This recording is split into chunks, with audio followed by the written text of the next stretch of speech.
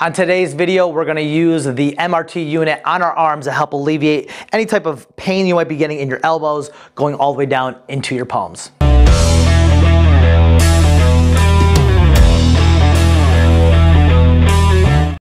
Great, so using the MRT on your arms, again, you're gonna wanna pick the unit that you feel comfortable using with. Right now I'm gonna use the small ball, but more, you can always use either the larger ball, some people are gonna wanna use the uh, thumb attachment and just get a little bit more direct in there, okay? So maybe we're having some tennis elbow, uh, maybe we're having just some pain in general into the arm and shoulders.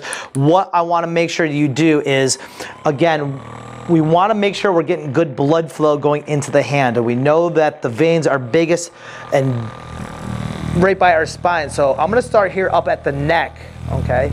And as I go down my neck, I'm to follow those nerves that go all the way down outside my arms, okay?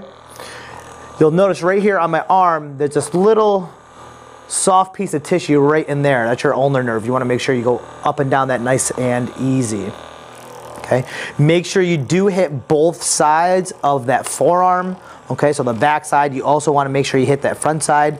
Again, we talk about that movement, so move those fingers up and down, get those flexors and extensors working and moving, okay?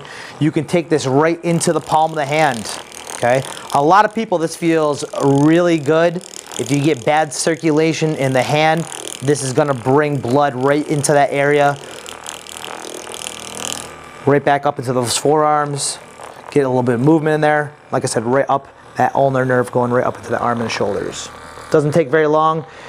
Give it a couple seconds and you'll start feeling some of that blood flow working in that body. You might even feel a little bit uh, alleviation right away. If you like that video, click the like button, subscribe below, and check us out next time.